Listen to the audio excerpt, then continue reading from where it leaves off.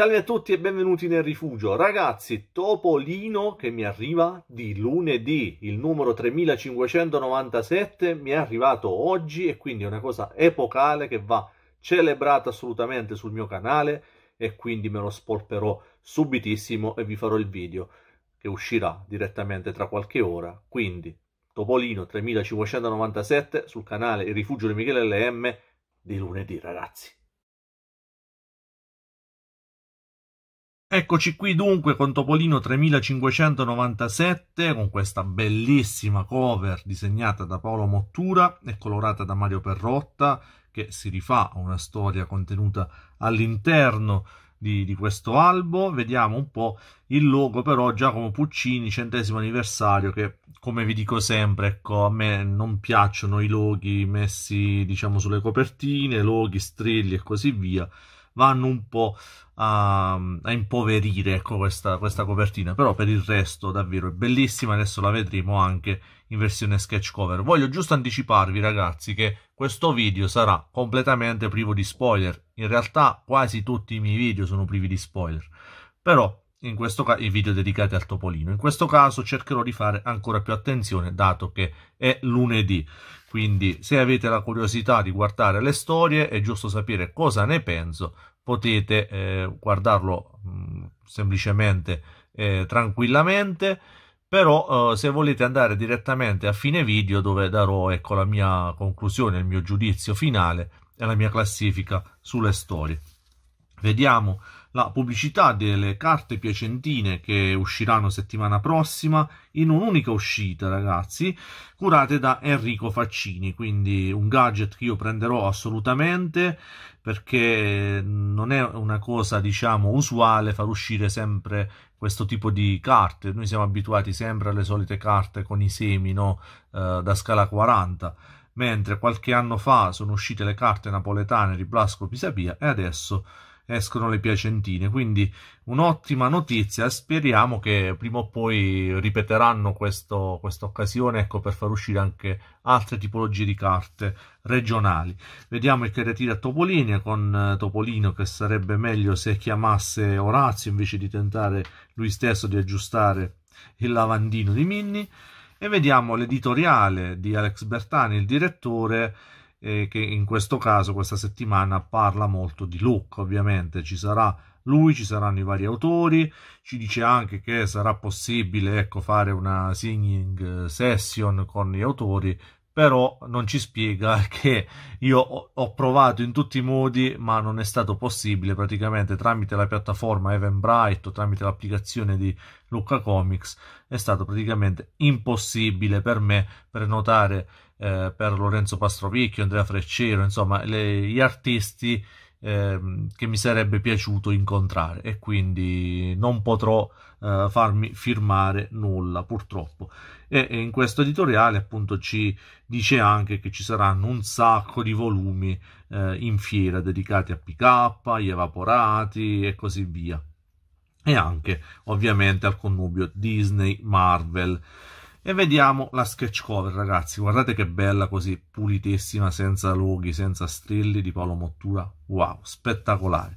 Direi adesso però di iniziare subito con la prima storia dell'albo la storia evento fatta dal dinamico duo ormai consolidato Bruno N ai testi Davide Cesarello ai disegni con i colori di Irene Fornari. Qui un Irene Fornari ragazzi ve lo dico subito spettacolare. Ci sono delle sfumature già dalla prima tavola, guardate che sfumature di colori dal rosso al blu diventando violetta, guardate, bellissima ragazzi, la storia inizia non in una ipotetica topolinia di un'altra dimensione come poteva essere la storia degli evaporati, ma nella nostra topolinia nel Kansas, eh, più precisamente, dai parenti di Orazio, ovvero gli zii Wanda e Carpazio, e vediamo che c'è anche Orazio qui in vacanza da loro che sta cercando di, di sistemare la, la mietitrebbia, e però succede qualcosa di strano, ovvero un incontro ravvicinato con queste luci particolari che una volta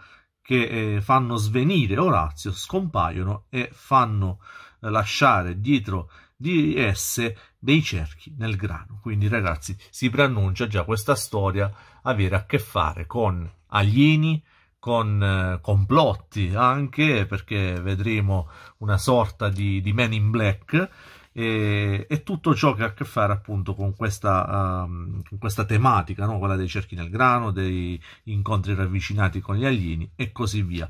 Non voglio svelarvi altro di questa storia, ma già come primo episodio, nonostante io sia partito un po' pregiudizievole perché ce ne saranno sei di episodi, devo dirvi che già questo primo episodio mi è piaciuto tantissimo e mi lascia quella sensazione di, di ansia, di inquietudine tipica delle serie tv eh, come quelle degli anni 90, come X-Files oppure come Fringe più negli anni 2000, insomma, lascia davvero quel, quella sensazione di inquietudine che però ti, ti sale fino al livello in cui hai bisogno di sapere come prosegue la trama, come prosegue la storia. Qui i disegni di Davide Cesarello ah, mi, è, mi, sono sembrati davvero molto ma molto maturi, molto simili nel tratto a, a ciò che era lo stile di, di, Massimo De Vita, davvero già con le top stories ha dato modo di, eh, di dimostrarsi degno erede di Massimo De Vita, Davide Cesarello. E con questa storia già da questo primo episodio ancora di più ragazzi, ancora di più. Alcune espressioni sono tipiche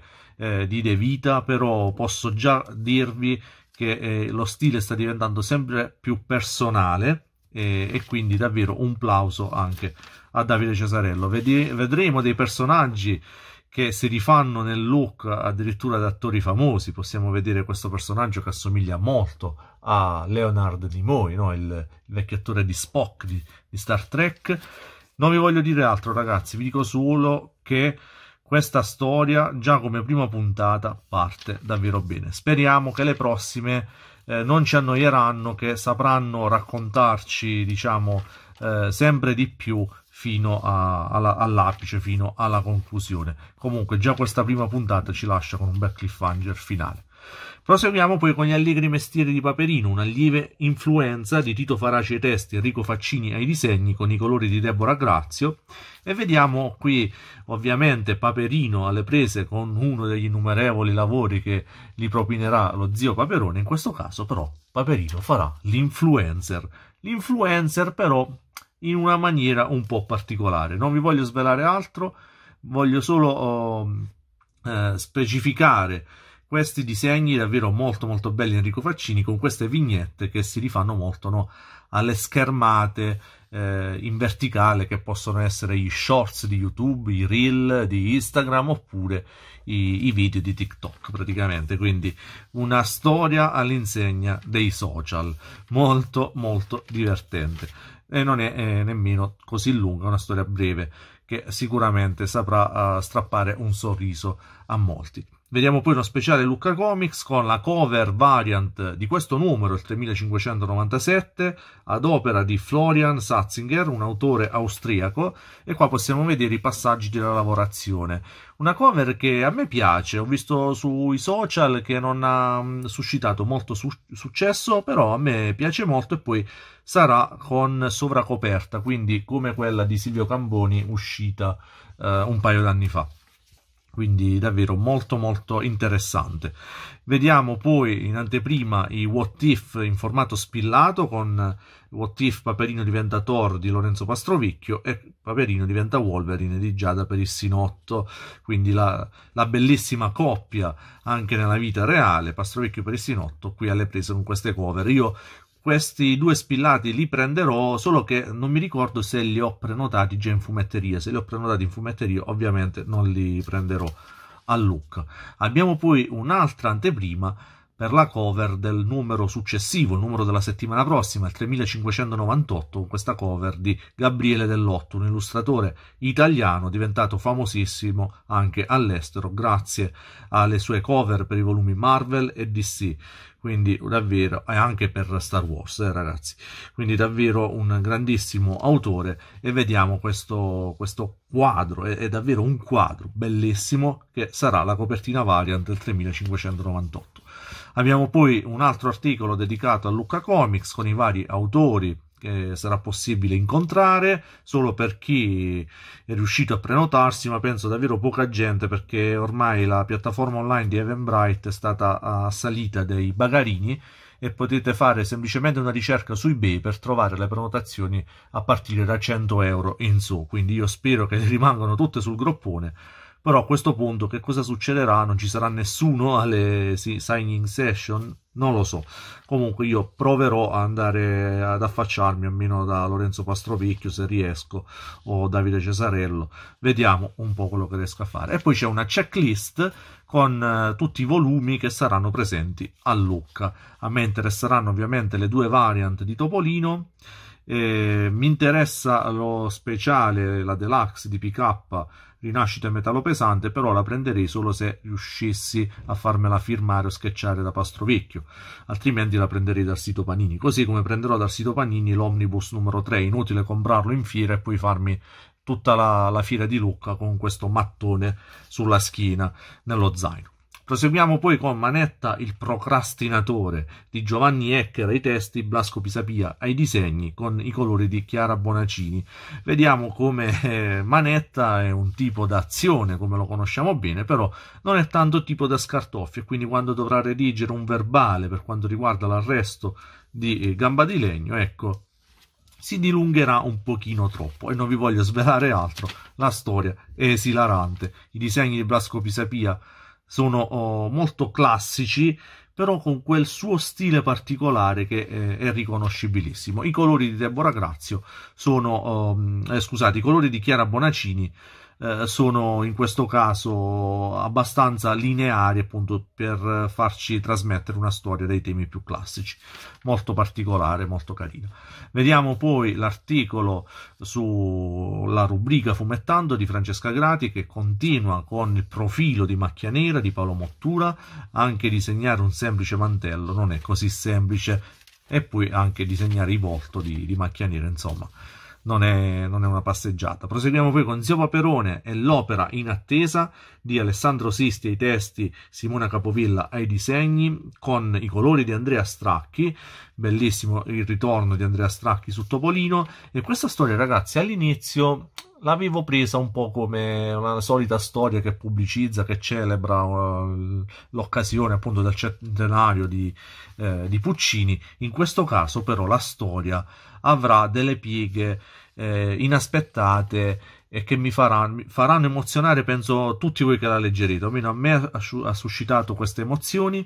Ritroviamo il, il duo uh, italiano a cui appunto abbiamo imparato a conoscere nelle vecchie storie precedenti che sono uscite su Topolino riguardanti vari personaggi storici. In questo caso, però, se non mi ricordo male, prima venivano storpiati i nomi tipo di Leonardo, uh, se non mi ricordo male. Invece, in questo caso, Puccini non viene uh, storpiato e vedremo un finale davvero da emozioni pure. Non vi voglio dire altro, ragazzi, su questa storia.